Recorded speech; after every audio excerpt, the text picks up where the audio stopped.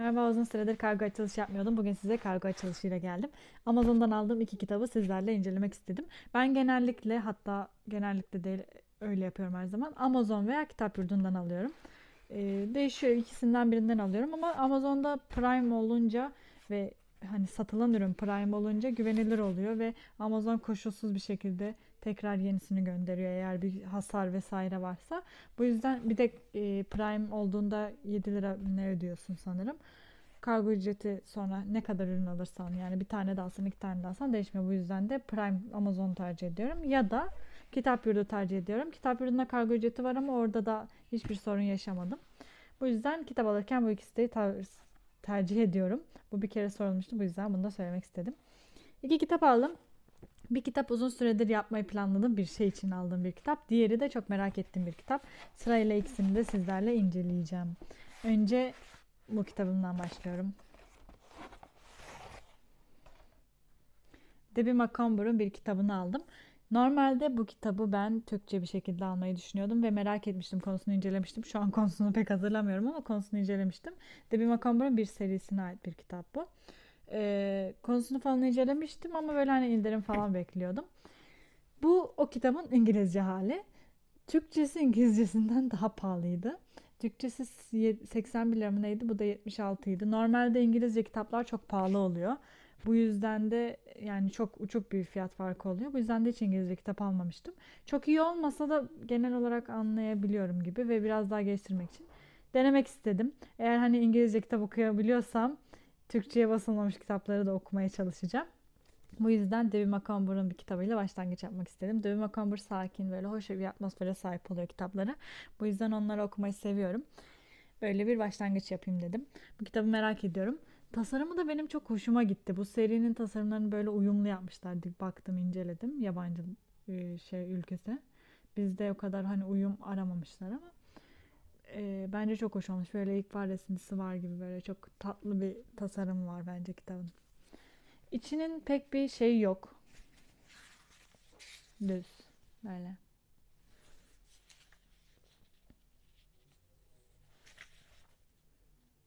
Serinin kitapları sanırım buraya yazmışlar.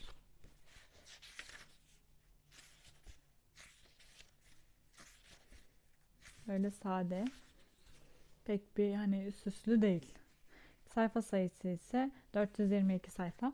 Bakalım e, İngilizce kitap okumaya bu kitapla başlayacağım. Umarım anlayabilirim. Umarım severim.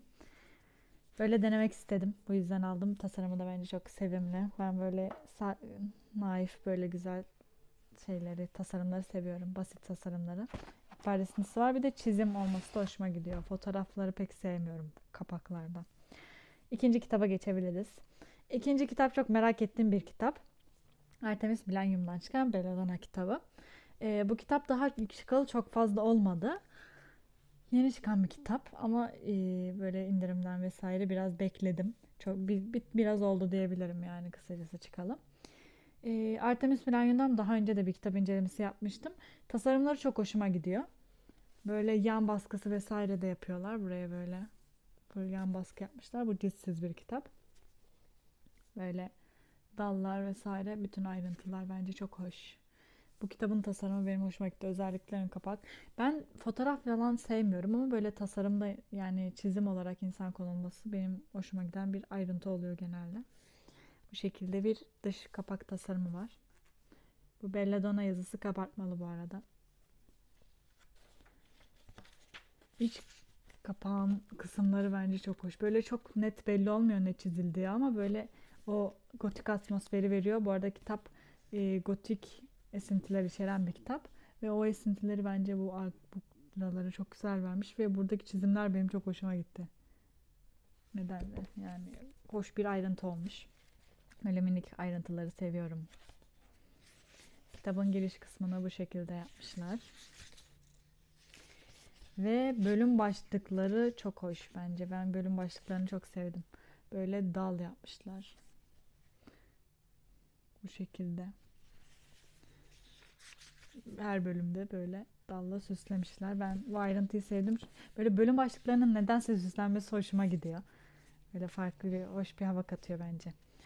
Ayrıcı da o şekilde.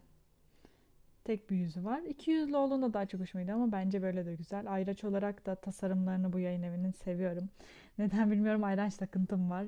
Posit kullandığım için genelde onu ayraç olarak kullansam da ayraçlara ekstra bir ilgim var. Bence ayrıcı da güzel olmuş.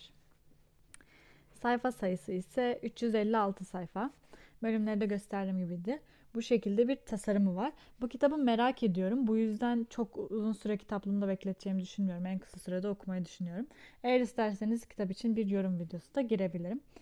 Bu şekilde iki tane kitap aldım ve sizlerle de paylaşmak istedim. İzlediğiniz için teşekkür ederim. İyi günler. Başka videolarda görüşmek üzere.